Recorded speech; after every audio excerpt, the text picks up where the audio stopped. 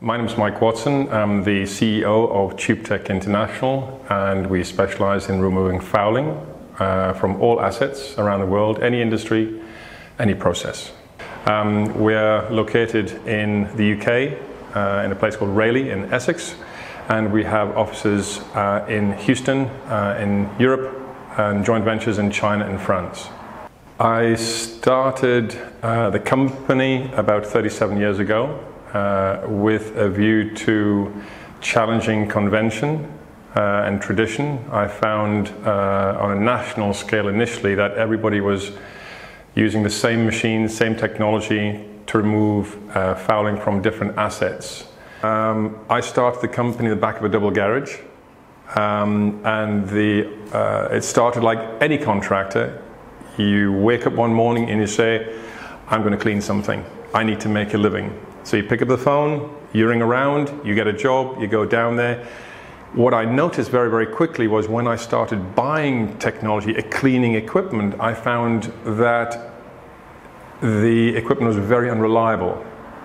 And that's why cleaning contractors really had a bad reputation.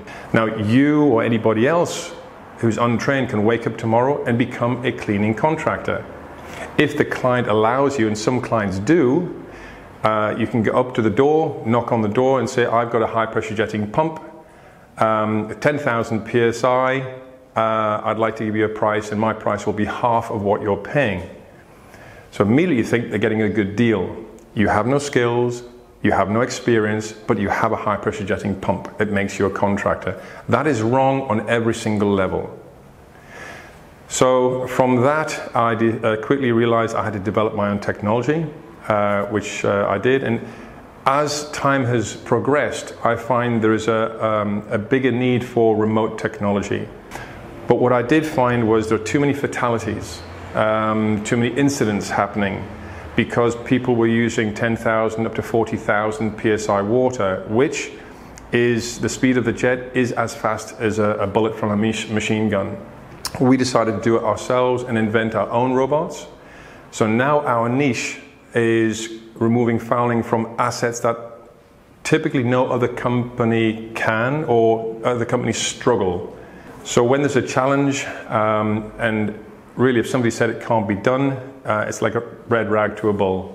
We will find a way, we'll invent something specifically, and we'll work very, very closely with the client. So that's our speciality.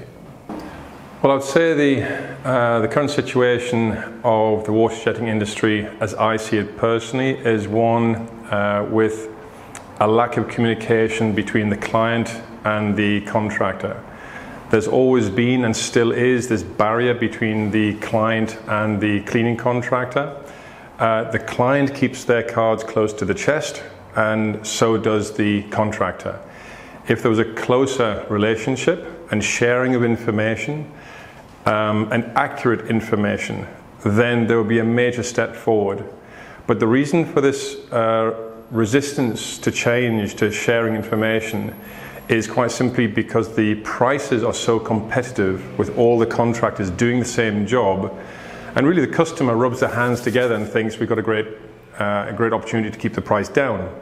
That's not in anyone's interest. So, if the client were to say the benefit to us by doing something faster, safer, uh, cleaner to a higher standard, uh, in situ without pulling it apart, um, safer, dry without waste. If those values could be made um, apparent to the contractor, it would allow the contractors to innovate, to invent. But that just doesn't happen. I think the concern is always to get the right information from the customer often is the case that the customers don't have all the information themselves with which to make a rational decision. So they rely heavily on the consultant, the supplier, and the contractor to make the decision for themselves. But if you look at the potential benefit of a contractor, any contractor, service provider, giving a better service because they receive better information, the return on investment for the client is will be between 20, 30, and 50 to 1. Associations uh, can bring, as far as the value is concerned, to uh, industry suppliers is um, standardization. There's no uh, consistency in standard. And that's because there's no communication going in, and the often the culture uh, within the company is very um, parochial. They want to keep to themselves. We know better. So the association, association really is there to inform, to educate, to advise, to give the uh, the different cultures and contractors in the industry an opportunity of choice, an informed choice.